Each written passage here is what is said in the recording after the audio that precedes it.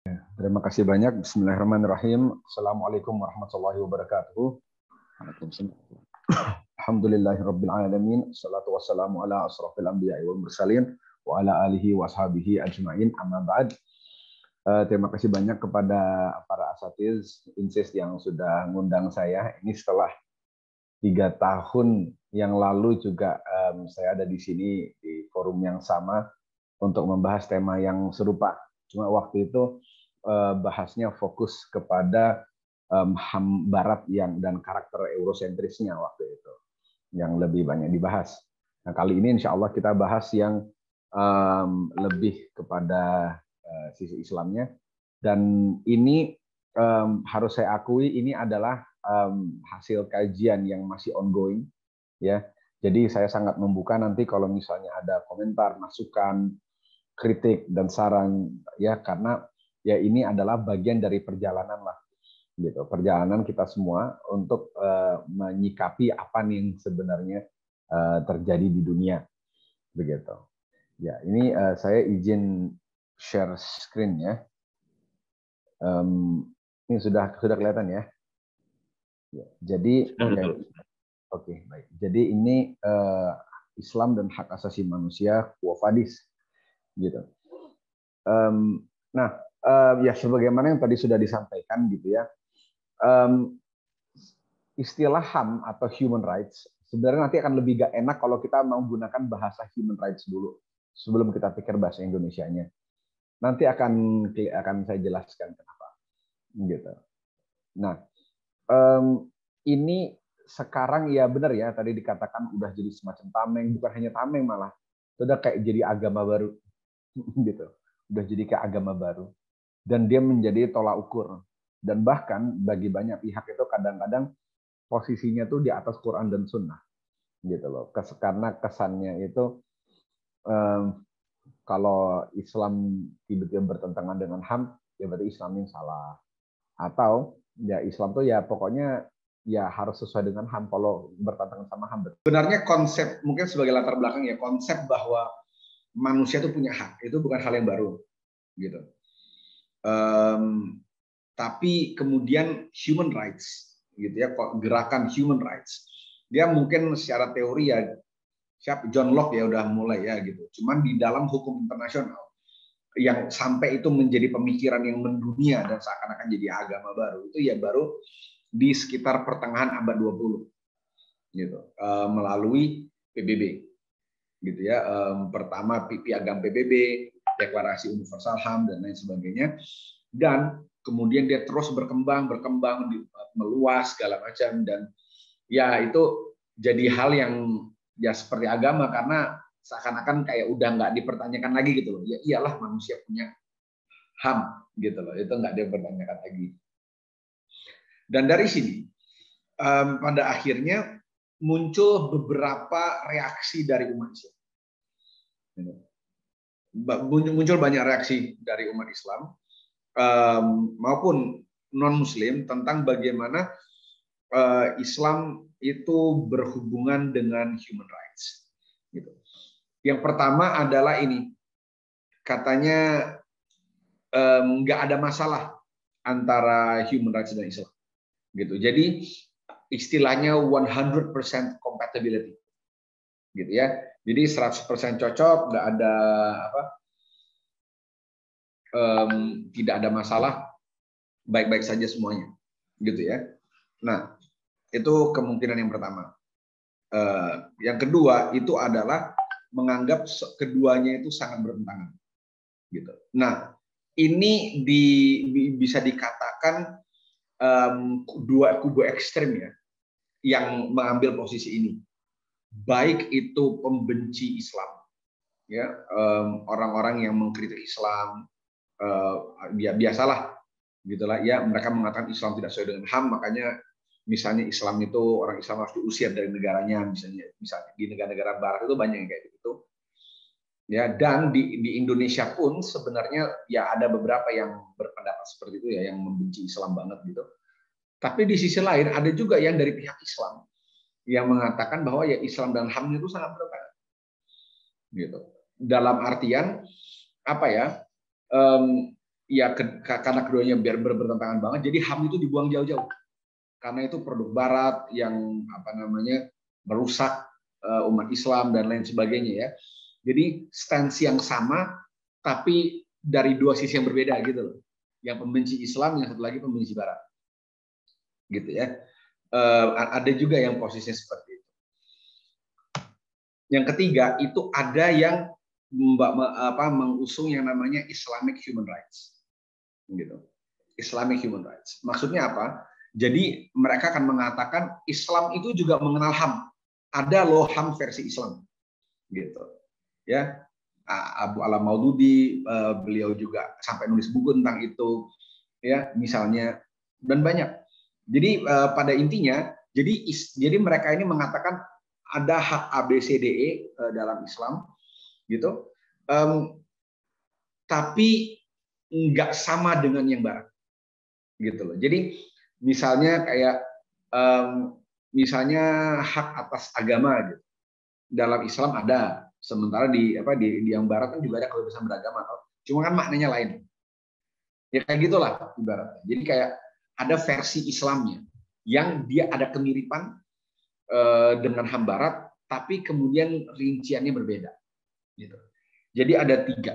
Ya kurang-kurang lebihnya. Ya mungkin yang apa yang menggunakan bahasa-bahasa yang berbeda mungkin ada juga gitu. Nah tapi yang sebenarnya gimana nih? Um, yang yang benar nih posisinya. Kalau saya sih mikirnya ya monggo gitu. Cuman di sini coba kita eksplorasi dulu ya kita eksplorasi dulu bagaimana sebenarnya human rights itu karena yang orang tuh sering salah gitu ya orang sering keliru itu adalah ketika mereka tuh kemudian terjebak pada naratif seperti ini. Manusia itu punya hak atau enggak? Atau enggak punya hak? Punya lah. Berarti ada dong human rights. Gitu. Terus Islam ngas, uh, memberikan hak nggak buat kita? Memberikan ya. Berarti ya ya Islam mengenal hak asasi manusia gitu. Jadi kadang-kadang sederhananya atau lebih rinci lagi gitu lebih rinci lagi misalnya um,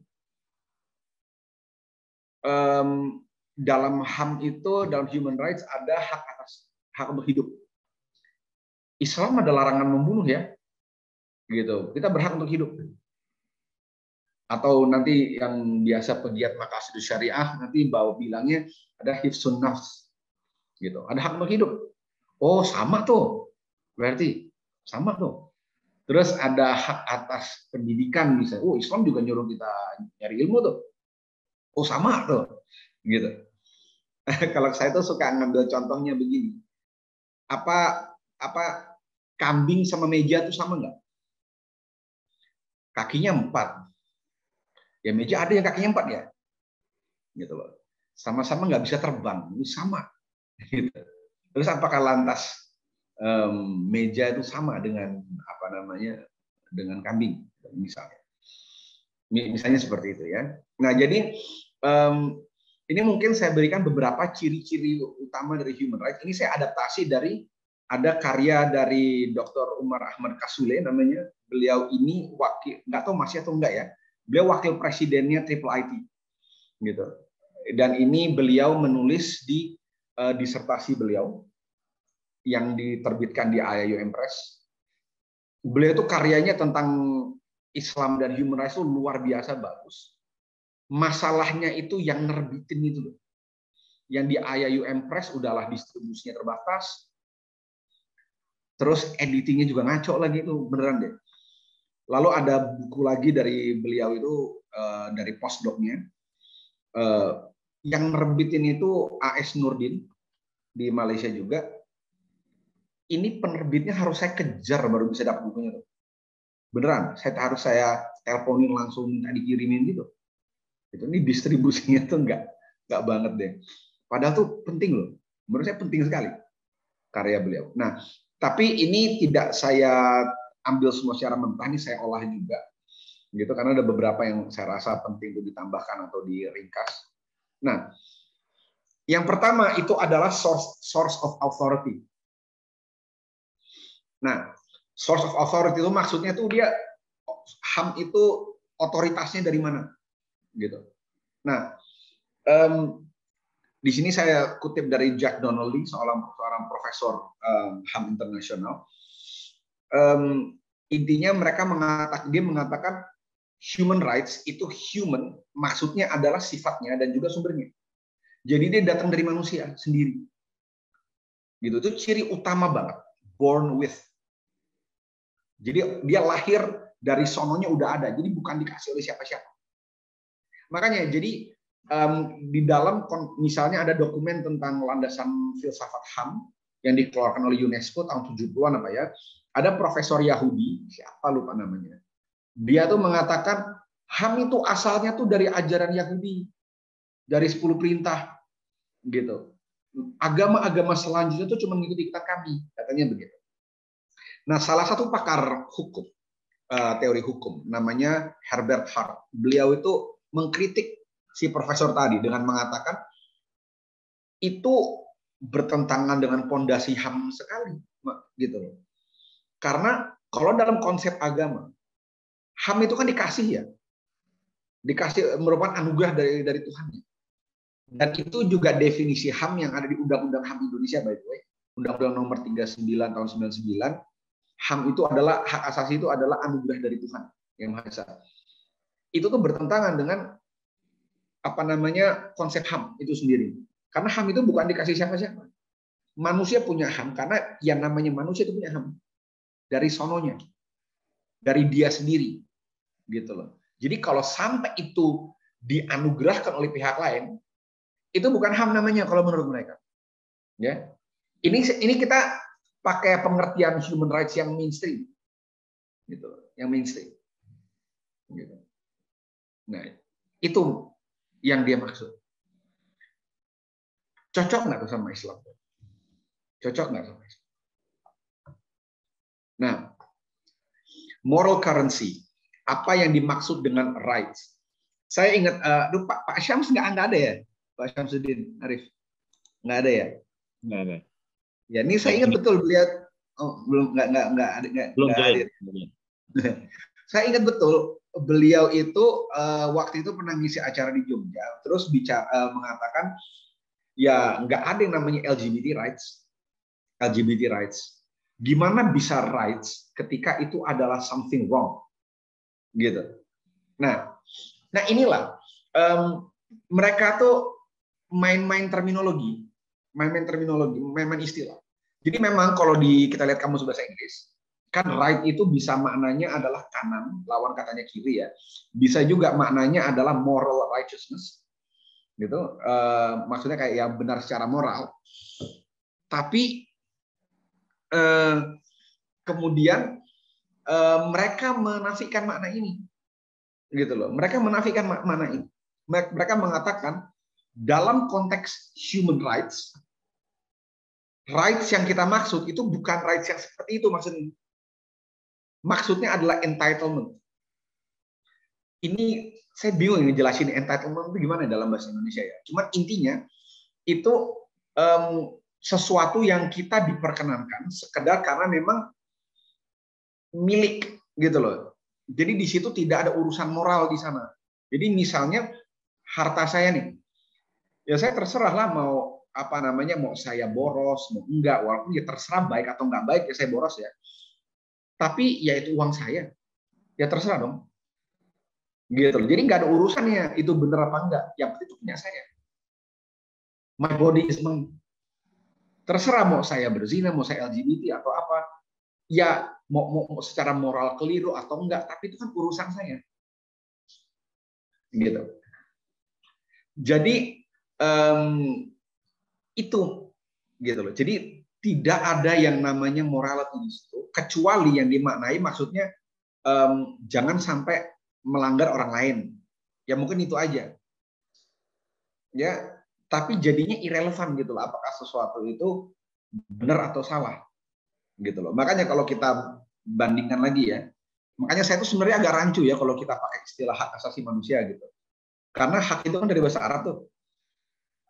Apakah al hak bisa dimaknai seperti itu Apakah bisa? kan gimana gitu. Jadi kayak kita menceraikan al-haq, kata al-haq dari kebenaran moral gitu loh. Itu kayak gimana gitu. Tapi ya kalau nggak gitu tuh bukan human rights namanya.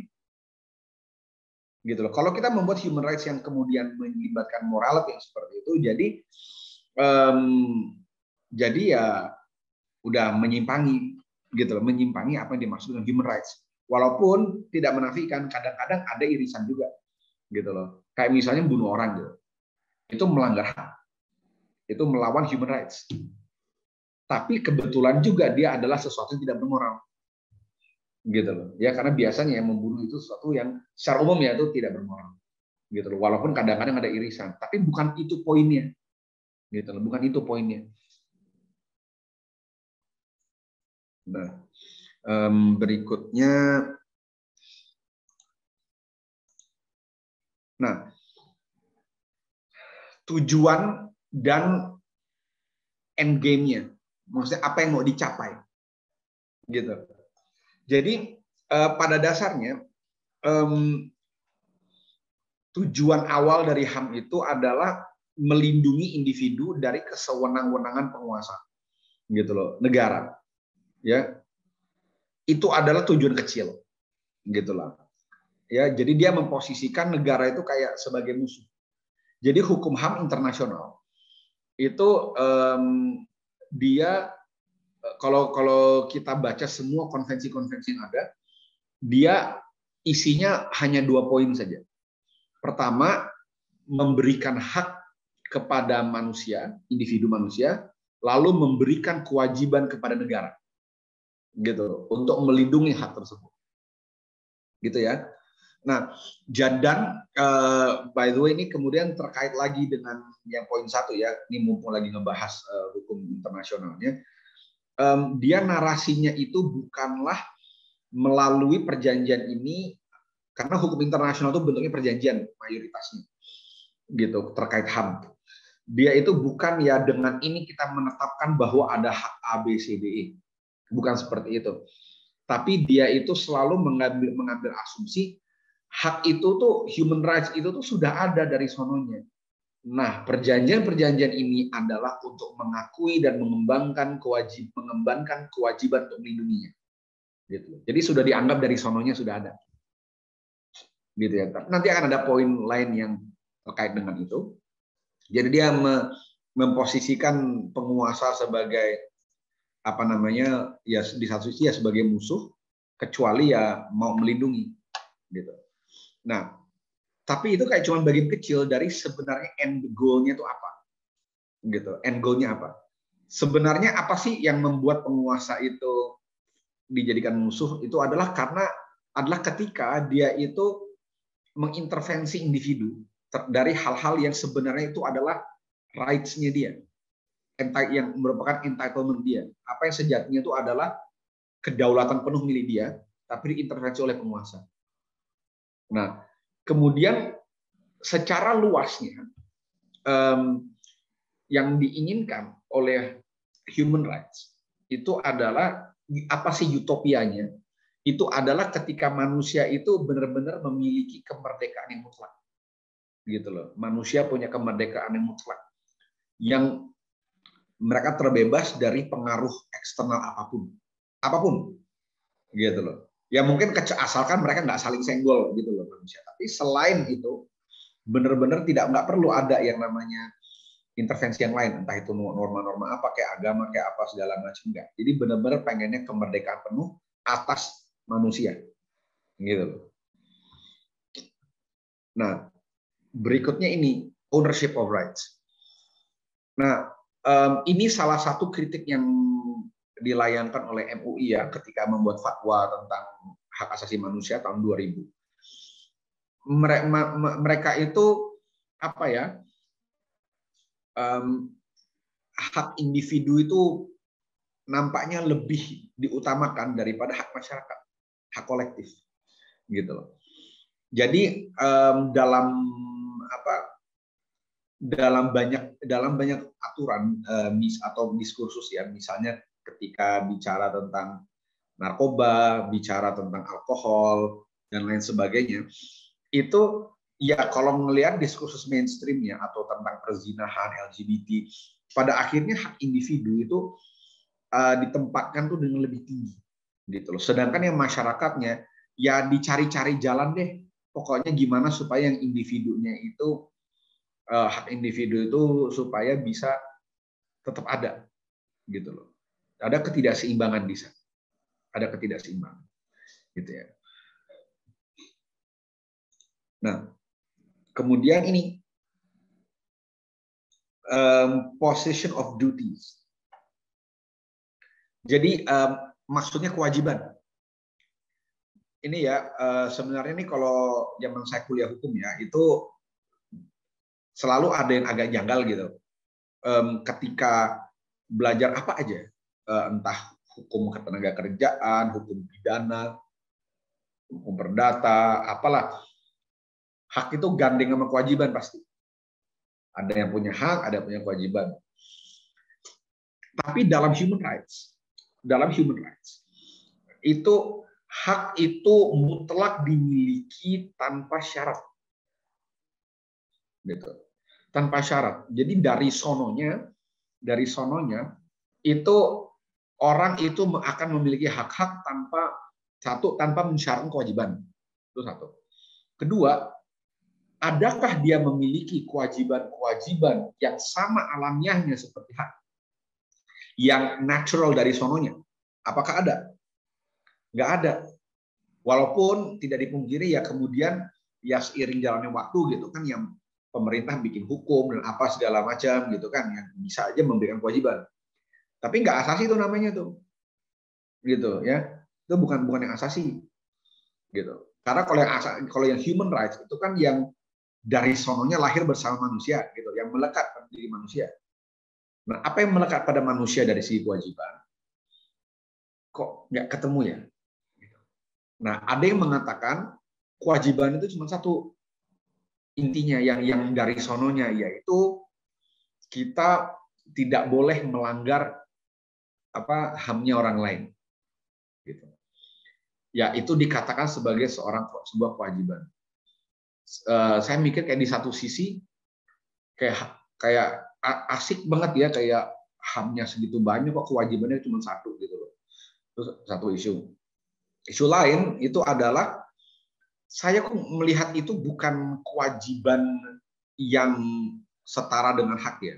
Karena kan itu pada intinya ya artinya hak yang paling tinggi kan gitu loh. Makanya nggak boleh disinggung kalau itu punya orang lain. Gitu loh. Itu bukan kewajiban yang lahir dari hak. Ya, um, nah karena itu, by the way karena poin ini, pada akhirnya um, uh, banyak pakar yang ketika mereka kritis mengkaji tentang bagaimana evolusi konsep HAM, mereka akan melihat dari sejarahnya, terutama kalau melihat dalam agama.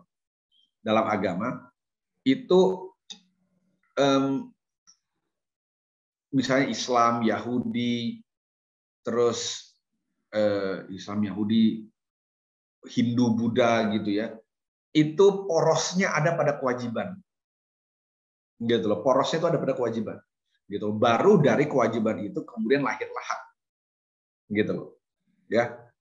baru lahir hak ketika apa namanya uh, udah ada kewajiban duluan.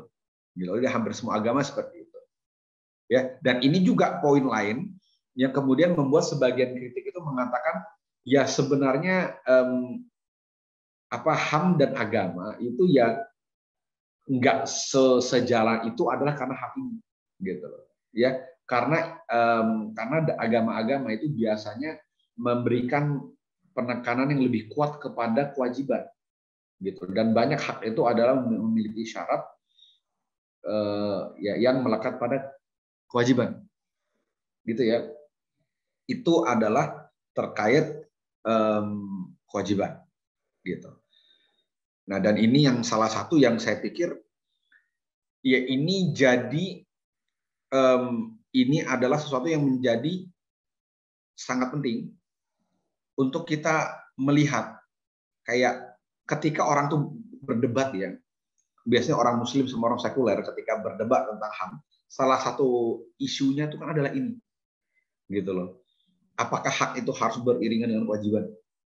Gitu. Selain juga apa namanya poin-poin yang lain juga ya. Nah, kemudian ini uh, claim of universality, gitu. Claim of universality.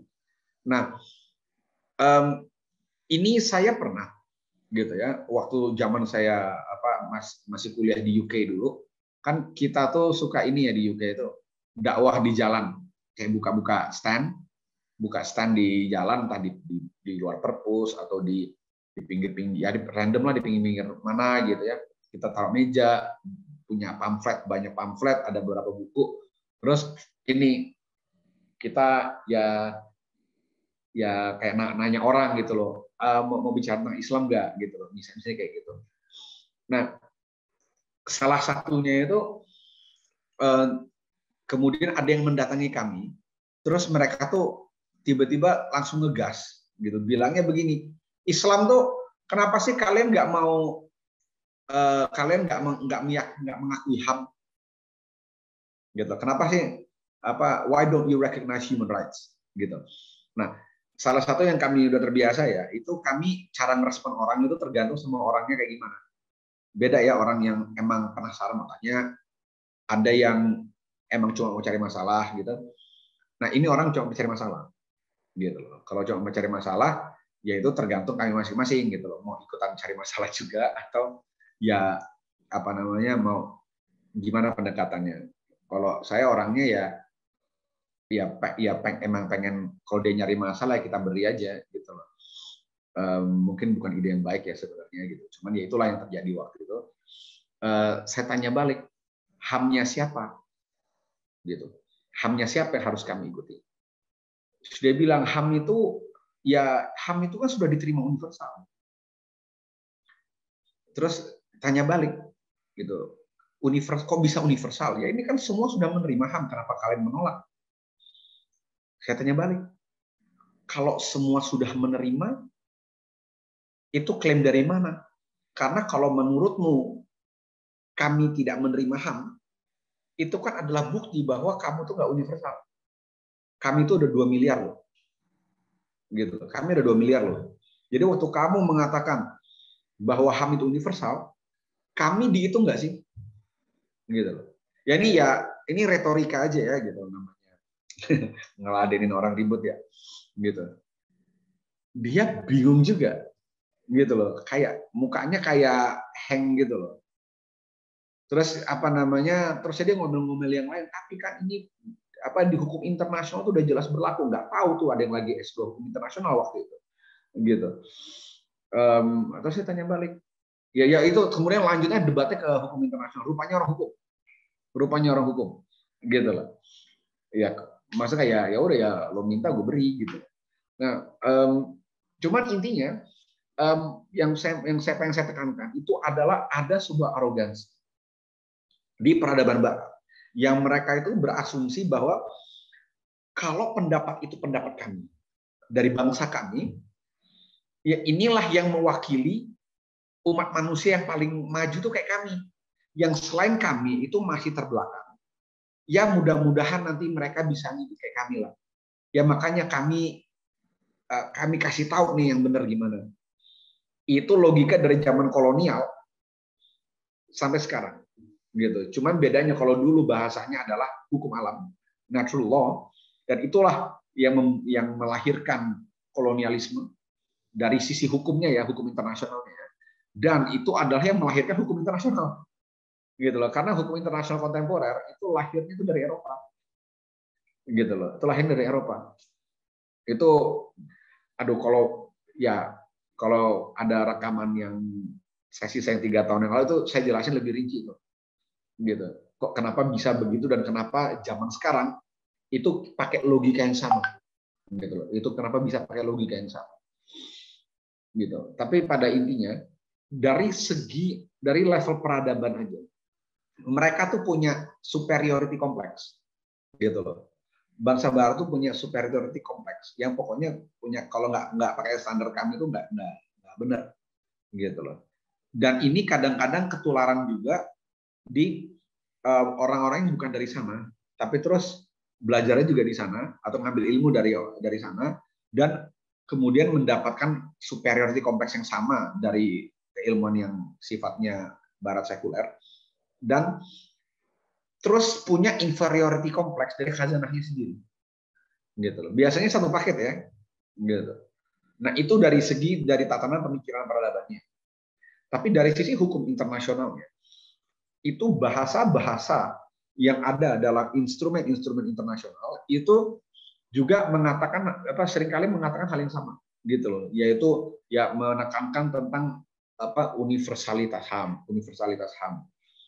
Nah tapi kalau kita mau melihat kenyataannya ya selalu ada perintilan-perintilan yang biasanya entah tidak diakui atau pura-pura nggak tahu atau adalah kilahnya apa gitu. Yaitu kalau modelnya perjanjian ya kalau universalitas itu kan adalah semuanya mengakui gitu loh semuanya ikut ikut di perjanjian itu. Masalahnya tuh tidak ada ya di dunia ini perjanjian HAM yang semua itu semua negara di dunia itu ikut. Nggak ada. Mayoritas mungkin. Mayoritas mungkin gitu ya. Nah kalau mau memperdebatkan mayoritas ini lebih kuat daripada minoritas itu lain. Tapi HAM ini kan klaimnya universalitas. Gitu loh. Ya jadi kalau kalau tadi apa um, apa namanya kalau yang dari dari dari tatanan, dari tatanan pemikiran itu uh, universalitas adalah berdasarkan arogansi peradaban kalau di sini adalah klaim konsensus yang susah dibuktikan gitu loh yang susah dibuktikan atau sudah dianggap aja. Kayak misalnya nih tahu mungkin eh, teman-teman tahu ada deklarasi universal hak asasi manusia tahun 1948 yang itu tuh udah jadi kayak kitab suci gitu lah. Dia itu disepakati oleh 48 negara waktu itu. Karena zaman itu PBB masih dikit ya negaranya ya. Ada beberapa negara yang abstain, termasuk Soviet dan Saudi. Ada beberapa yang nggak ikutan voting loh. Gitu. Ya walaupun kemudian ada perjanjian-perjanjian HAM yang lain um, yang kemudian menyebut deklarasi universal ini, jadi ya oke okay lah bisa dikatakan dia makin menyebar gitu. Tapi perjanjian-perjanjian ini pun ternyata tidak semuanya um, unif, apa kayak di, ditandatangani oleh semua negara. Banyak yang tidak. Misalnya Malaysia nih, ada salah satu konvensi besar ini yang covenant hak-hak sipil dan politik. Malaysia itu nggak ikut ratifikasi. Malaysia nggak ikut. Tapi aktivis HAM mengatakan Malaysia melanggar hak-hak yang ada di perjanjian itu, walaupun Malaysia tidak ikut menandatangani, tapi hak-hak tersebut universal. Lah Malaysia nggak ikut nanda tanganin kok bisa dianggap universal? Gitu. Lah akhirnya yang poin konsensus ini sebenarnya satu paket sama yang sebelumnya. Jadi diaku-aku sebagai universal. Oke, kadang-kadang dalihnya adalah yang tidak meratifikasi, yang tidak ikutan tanda tangan, itu ya mereka prinsipnya setuju. Oke, prinsipnya setuju. Tapi apa makna HAM bagi masing-masingnya ini? Judulnya setuju belum tentu rinciannya setuju. Gitu loh. Itu panjang deh kalau misalnya mau apa untuk apa ya kita menjelaskan bagaimana HAM itu ditafsirkan bagaimana perjanjian ditafsirkan. Itu untuk memahami perjanjian internasional itu tiga SKS eh, HAM internasional juga tiga SKS ini semester ini saya ngajar dua-duanya. Gitu. Kuliahnya baru selesai baru minggu ini. Gitu. Masing-masingnya tiga SKS gitu. Cuman ya sederhananya untuk membuktikan konsensus yang sejati itu susah loh gitu. Susah. Gitu ya. Um, dan di situ mereka biasanya bermain-main begini. Islam itu tuh yang menganut itu tidak semua loh. Dan Islam itu tidak monolitik loh. Ya ya itu nggak nggak salah ya dibilang Islam itu Muslim itu tidak monolitik. Gitu ya. Um, terus kenapa Islam apa namanya sok-sokan bisa mengklaim dia paling benar. Gitu loh. Nah, masalahnya kalau dalam Islam kan landasan universalitas kita kan gitu loh. Kita kan bukan berdasarkan konsensus. Misalnya, gitu ya. Nah, jadi ini adalah beberapa ciri-ciri dari human rights. Nah, ini nggak tahu nih bagaimana menurut apa teman-teman yang hadir di sini gitu. Cocok nggak gitu sama apa human rights? Dan bagaimana pendapatnya Islam cocok nggak sama ini? Gitu. Nah, nah ini mungkin renungan sedikit. Nah, ada banyak orang yang ini kalau saya apa ini merefleksi kepada diri sendiri dan banyak berdiskusi sama teman-teman yang lain. Ketika mereka berargumentasi tentang HAM dan Islam segala macam, banyak dari mereka tuh mereka nggak tahu bahwa oh ternyata human rights itu maksudnya seperti itu, gitu. Lalu mereka bingung sendiri, pantesan kalau kita ribut sama geng apa apa geng lain itu kok kayak nggak ketemu gitu. Nah, jadi jadi kepikiran kalau landasannya aja udah nggak ketemu, ya apalagi kalau isu-isu turunannya kita berdebat, ya kan tambah nggak ketemu lagi tuh, gitu. Nah, itu mungkin ya renungan aja. Dan apa eh, sebenarnya satu lagi renungan yang lupa ketulis ya. Nah, apa kebayang juga nggak gitu dari ciri-ciri itu tadi ketika ada orang yang berasumsi Islam sesuai dengan HAM.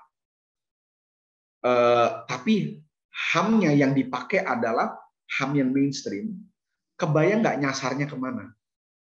Gitu loh. Kebayang nggak nyasarnya ke mana dan betapa banyak subhat yang akhirnya keluar dari situ. Gitu.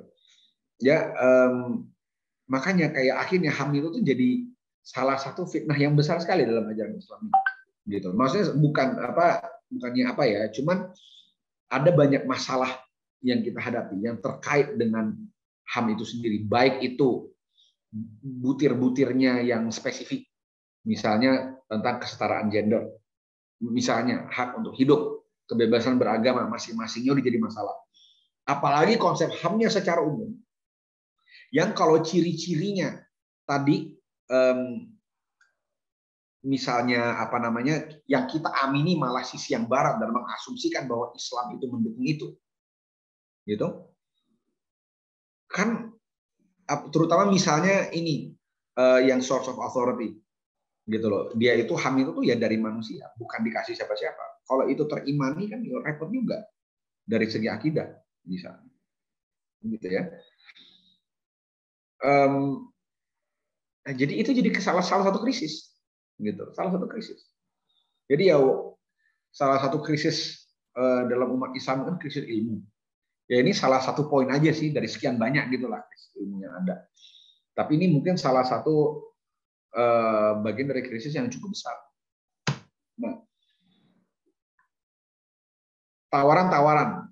Jadi ada beberapa apa tawaran dari beberapa kalangan untuk gimana nih merespon perkembangan HAM eh sorry nih Ustaz, saya punya berapa menit ya?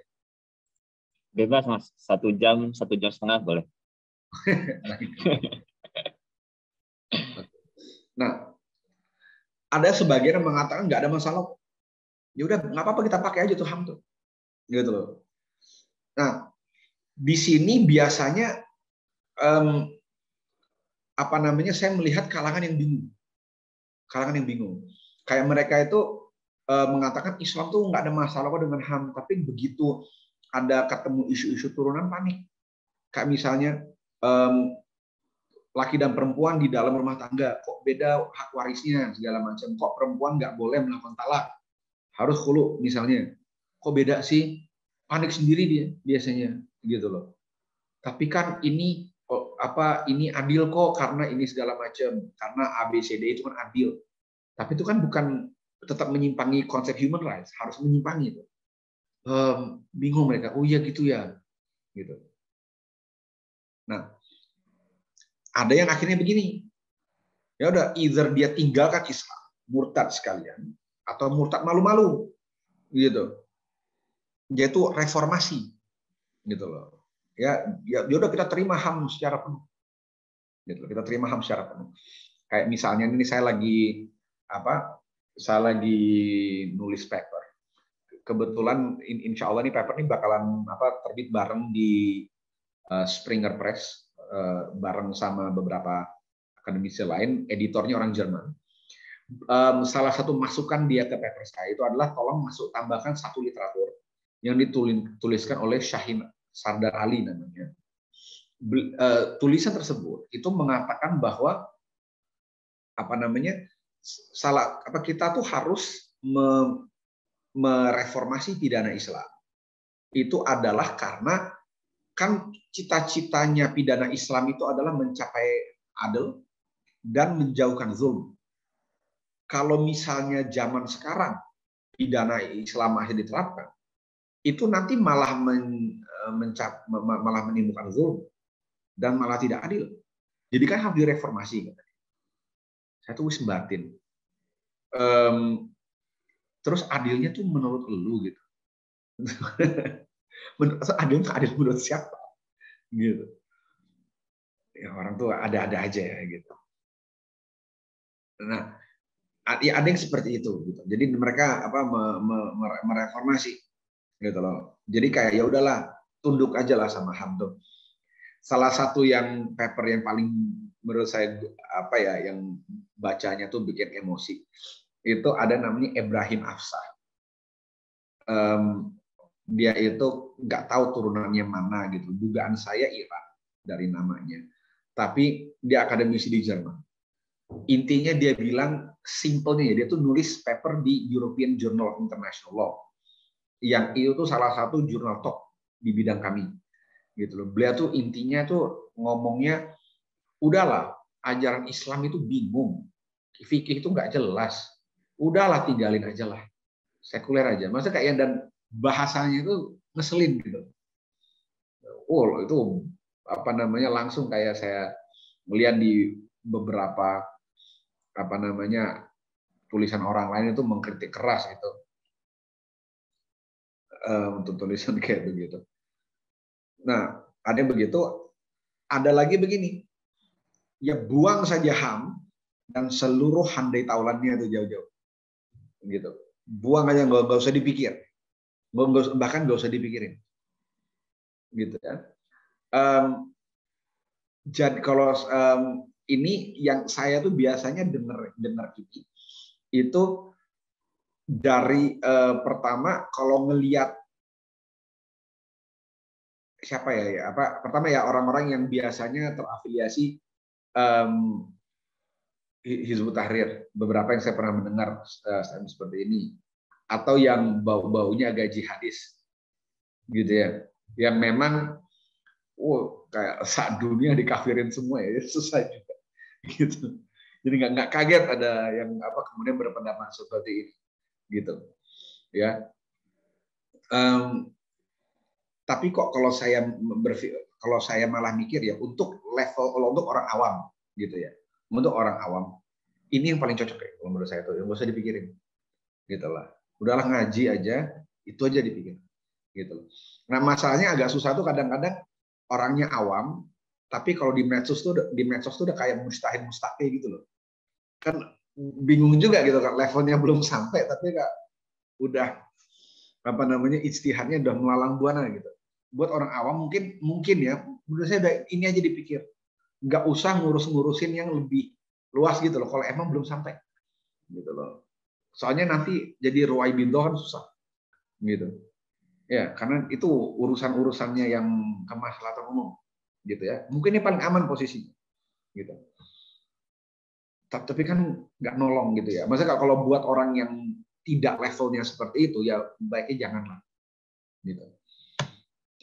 Nah, memperkenalkan Islamic human rights akhirnya banyak yang begini gitu ada akhirnya ada yang begini gitu ya Abu Alam Maududi dan dan banyak nah kemudian itu Dr. Umar Ahmad Kasule itu mengkritik posisi by the way akhirnya Oki kan juga berposisi ini bikin deklarasi Kairo kan tentang HAM dalam Islam gitu kritik yang beliau sampaikan itu adalah begini di satu sisi mungkin maksudnya bagus ya gitu loh di satu sisi menunjukkan Islam itu bukannya tidak mengakui hak karena narasinya tuh kesannya kayak yang kalau nggak mendukung human rights, kesannya kalian mendukung kezoliman kepada umat manusia kan? Narasinya begitu. Gitu. Kalau istilahnya George Bush, walaupun konteksnya nggak beda, itu you are either with us or against us. Kalau nggak bareng kami, artinya kalian musuh sama kami. Gitu kan narasinya seperti itu. Jadi mereka tuh kayaknya pengennya ya membuat narasi, ya kami juga percaya, tapi beda dikit gitulah. Nah, kritik dari Umar Ahmad Kasule itu adalah ya walaupun ada niat baik di sana untuk memperkenalkan sedikit ajaran Islam, cuman pertama itu kan jadi tidak menunjukkan pondasi-pondasi umat Islam, eh, ajaran Islam yang terkait hak dan kewajiban gitu loh dan bagaimana posisinya terhadap apa namanya aliran human rights yang sekuler. Itu satu dan kedua adalah pada akhirnya framework berpikirnya itu pakai framework apa HAM yang barat juga ujung-ujungnya. Jadi yang dilakukan itu adalah kopas HAM barat, kasih bau-bau syariah. Gitu loh itu ya, isunya. Makanya kayak apa namanya misalnya ya kayak ya hak atas hidup hak atas apa. Jadi kayak kopas-kopas gitu. Jadi kayak kerangka berpikirnya itu jadi kerangka hambarat. Walaupun dikasih bawa-bawa syariah. Nah jadi jok siapa yang jok waktu itu ya um, bilangnya ini ibaratnya itu kayak Indomie sekuler barat tapi bumbunya bumbu syariah. gitu. Ini tidak disponsori ya, walaupun sebut merek dikit. Maaf kebiasaan. Nah, kemudian ada lagi, nah Umar Ahmad Kasule dalam bukunya yang hasil dari postdoc beliau, itu beliau menawarkan alternatif yaitu justice and human dignity. Jadi beliau itu tuh dalam bukunya ya berusaha menerapkan pemikirannya Syekh Muhammad Nakib Alatas dalam mengkaji isu manusia. Gitu loh. Manusia dan bagaimana um, manusia itu uh, mengkonstruksi apa dikonstruksi gitu. Jadi daripada human rights kita perkenalkanlah konsep keadilan dan dignity. Dignity itu apa ya? Kehormatan kemuliaan ya itulah. Gitu ya. Sebagai alternatif dari Walaupun by the way kalau dalam diskursus uh, human rights itu mereka sebenarnya udah agak lama menolak human dignity itu. Gitu. Tapi ya wajar lah ditolak sekuler gitu. Ya, tapi ya um, beliau kemudian menyarankan mengusulkan prinsip justice and human dignity yang pada prinsipnya berpedoman pada uh, manusia ya sebagai insan kamil gitu loh. Manusia sebagai insan kamil. Nah, bagaimana um, hukum, kebijakan atau semua apa perjalanan pemerintah, kehidupan manusia itu berporosnya di situ. Berporosnya di situ. Nah, um, dan kemudian uh, beliau juga menekankan hisbah, wilayah hisbah itu harus ada, gitulah. Sebagai um, apa namanya? Karena mereka yang salah satu yang berfungsi di akar rumput, yang menegakkan justice dan human dignity itu. Gitulah jadi sebagai sebuah sistem. Sayangnya menurut saya itu um, yang beliau sampaikan itu kayak ngasih teori dasar filosofis banget yang mungkin aktivis HAM kita bingung mau dipakai buat apa. Gitu loh. Dan akhirnya untuk isu-isu turunan jadi agak bingung bahasnya. Gitu. Nah jadi kalau saya berpikirnya nah ini makanya ya mudah-mudahan kajian apa namanya kajian selanjutnya ini ini kan lagi ngetrend makasidu syariah ya. Gitu. Ini lagi ngetrend makasidu syariah. Nah, gimana kalau coba kita rumuskan itu dengan berbasis makasidu syariah? Gitu loh. Dan yang nggak usah lah pakai hak A B C D E F G gitu loh. Tapi ya imbang apa ada kewajiban apa hak apa gitu loh yang berbasis pada makasih syariah. Gitu loh. Nah dan akhirnya itu um, mungkin dengan itu lebih rinci itu uh, akan uh, de dengan elaborasi yang lebih rinci. Mungkin itu bakal bisa menjadi uh, ped apa pedoman yang lebih baik untuk menyikapi isu-isu turunan. Gitu loh menyikapi isu-isu turunan kayak misalnya pendidikan gitu. Um, kan itu ya saya tuh pokoknya saya tuh miris banget kemarin itu waktu saya saya S3 di IAIN itu ada teman orang Indonesia yang semangat betul kayak yang dia kan orang artikel jurnal itu kan biasa online aja ya, sampai di print sama dia. Saya nggak tahu ya kalau kayak zaman sekarang tuh kalau satu satu di print gitu kayaknya mm, gitu ya.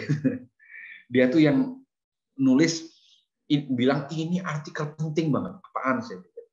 Ini jadi ada orang gitu, saya lupa siapa gitu, terbit di jurnal internasional, menulis non muslim yang nulis ironi di negara Islam. Apa ironinya? Di dalam Islam itu hak atas pendidikan itu penting sekali gitu dalam syariat ABCDE alasannya. Tapi kok tingkat pendidikan di dunia Islam itu rendah gitu loh. Um, pertanyaan sebelum saya baca saya kayak padahal dia dia ini loh lagi S2 studi Islam waktu itu. Um, sebelum saya baca saya tanya itu dia bilang nggak kita pendidikannya rendah itu gara-gara emang nggak suka sekolah atau emang karena miskin kan tuh beda loh. Gitu cuma nyalah nyalahin Islam. Gitu. nah tapi kemudian ketika saya baca ini kelihatan kebingungannya orang gitu loh. Pertama um, saya kok melihatnya ya walau alam ya saya kok melihatnya susah ya nyari dalil-dalil um, yang ya walau walau alam ya kalau turun kalau di syarah-syarah para ulama saya belum ketemu. Tapi um, hak untuk menuntut ilmu gitu. Adanya kewajiban. Dampaknya lain loh dampaknya itu lain. Gitu loh. Di mana dampaknya? Yaitu adalah menuntut ilmu. Itu maksudnya ilmu apa? Ilmu apa yang dimaksud? Gitu loh.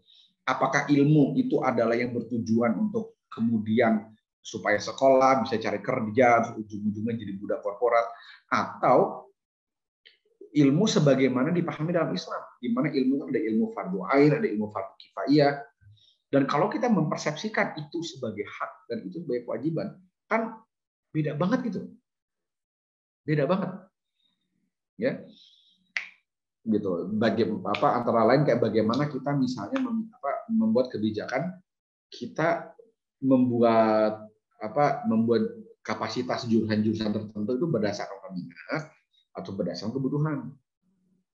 Misal, misalnya seperti itu. Ya makanya ini uh, masih belum apa uh, nanti akan dikaji lagi insya Allah. Cuman saya berpikir mungkin dengan itu tuh bisa jadi pedoman yang lebih baik untuk ke depan. Memikirkan hak asasi manusia itu seperti apa. Kalau alternatifnya dari Islam. Saya makanya saya lebih suka bukan ini loh hak asasi manusia dalam Islam, tapi ini alternatifnya. Gitu. Ini alternatifnya. Gitu. Cuma masih ada PR. Banyak PR. Gitu. Selain ini ya, selain untuk mengembangkan yang tadi, misalnya ini bagaimana memposisikan khazanah hukum internasional. Soalnya kadang-kadang dia menawar hukum internasional itu walaupun ya banyak yang banyak membawa masalah, tapi kita juga nggak bisa menyangkal dia sering kali membawa apa manfaat juga. Misalnya nih, kan kalau apa untuk makanan itu kan selain dia tuh halal, kan dia harus toyib juga harus baik dan sehat gitu ya. Nah, um, saya nggak menyangkal ada muslim yang terlibat ya, di dalam penelitian-penelitian terkait apa standar keamanan pangan. Tapi banyak juga yang apa standar-standar keamanan pangan, kesehatan yang dibuat oleh non muslim dan kemudian dipakai di standar-standar hukum internasional. Kayak misalnya uh, Food and Agricultural Organization, mereka membuat sebuah kodeks alimentarius namanya. Itu menjadi standar internasional tentang sanitasi dan fitosanitasi di WTO misalnya. Nah kayak gini-gini kan yang mungkin kita penting gitu loh, ini kita perlu. Terus di penelitian saya yang lain itu dalam hukum perang, gitu tentang persenjataan, strategi militer. Ada banyak praktek-praktek di hukum internasional yang ada masalahnya untuk kita pakai. Gitu. Jadi nyaringnya itu gimana? Karena salah nyaring, racunnya ikut masuk. Gitu. Ya. Jadi memilah-milahnya itu gimana persis? Gitu. Gimana persisnya? Nah ini makanya saya ini baru saja uh, mendirikan, cuma masih belum terlalu belum jalan. Ini pusat studi hukum internasional Islam. Itu udah jadi, cuma masih belum berjalan. Ya. Berikutnya adalah ya ini. Ini kan statusnya udah seperti ini ya situasinya kondisi masyarakat seperti ini, baik nasional maupun internasional. Terus gimana gitu loh? Kan perlu strategi.